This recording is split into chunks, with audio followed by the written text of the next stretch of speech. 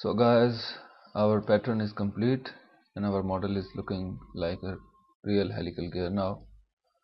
But uh, guys if you remember from the last part that I didn't relate the number of teeth in the pattern uh, th that was because when I do it or when you will do it I'll put number of teeth uh, it, it, does it does not relate. Uh, and uh, I have uh, come uh, with a certain workaround that we can relate these number of teeth. So guys let us do it. So first of all open your relations. And in the relations the relations box. And click the pattern and you will click it yeah, the local group and uh, something like this occurs. So uh, guys try to uh, be very careful and and uh, select this one the uh, this local group with the arrows are, uh, around it outside of it. So I'll click this and I will relate it with my number of teeth. Number and I'll check the relations. Relations are correct. And so now my number of teeth are related. And uh, uh, if uh, uh, I change my number of teeth uh, I will not have to manually change them inside the pattern. Only I'll change them in the parameters and everything will work okay. So guys now only the keyway and the bore remains.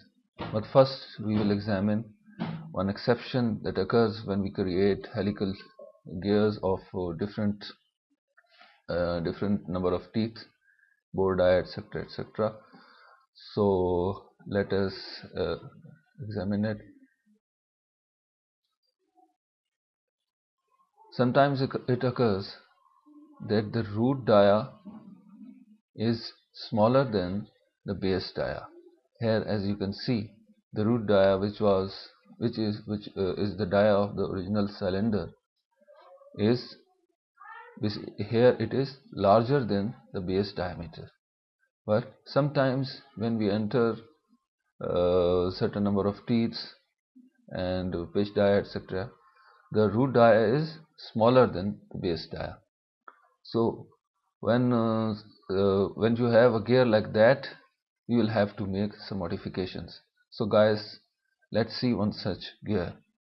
So I have uh, put some values here for a gear one such gear out of a catalog. So guys we will uh, examine this gear values here number of teeth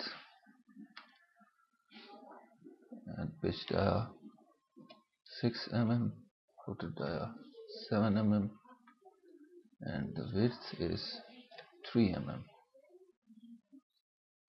And click ok. And I'll regenerate.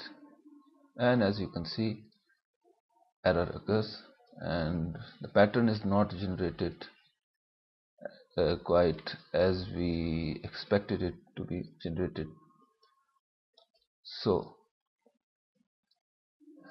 in order to correct this we will have to open the sweep the first sweep profile and our sketch. And here as you can see. So basically delete all of these. Trajectory intersection etc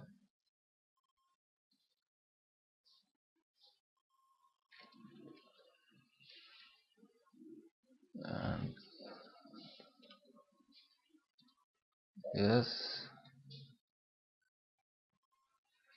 So guys as you can see the root dia this is the root dia and this is the base dia. And the involute curve is way out of the uh, way out and it cannot be it can uh, it is not touching the root dia. So our teeth are not uh, constructed correctly. So we will project both involute curves. And in order for them to be uh, connected. Uh, we will first first we will create a curve on the root dia and then we will create straight lines that are tangent as you can see. Straight tangent lines to the root diameter.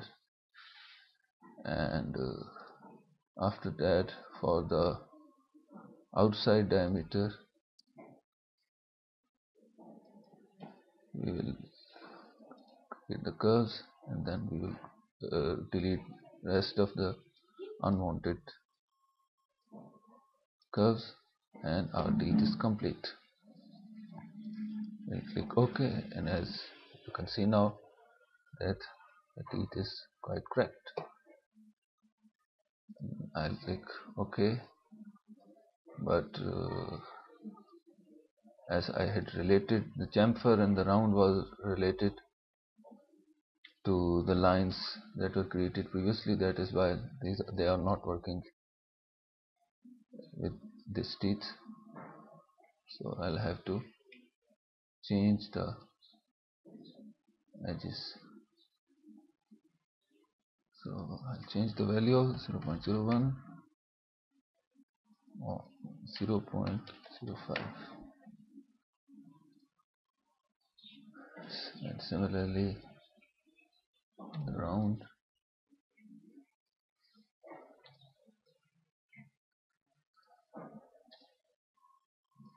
and for this uh, I'll simply move all and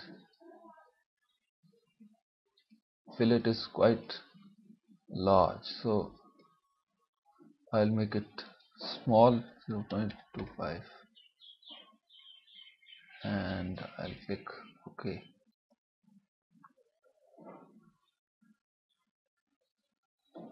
and hopefully our gear and there you can see our gear is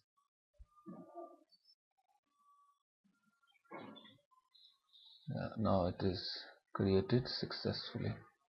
So I'll hide it. And now we will create our bore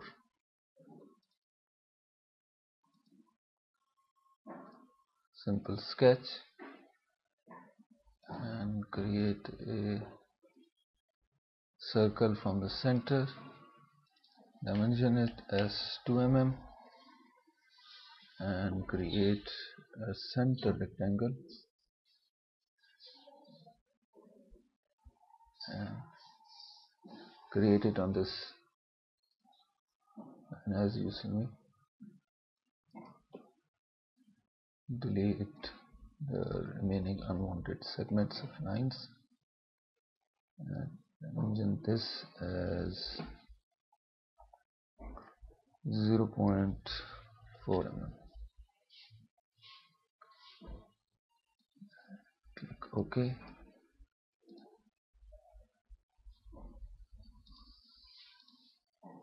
Enter. Remove. And guys like this we have created augurs hope you guys liked uh, this video. Thanks for watching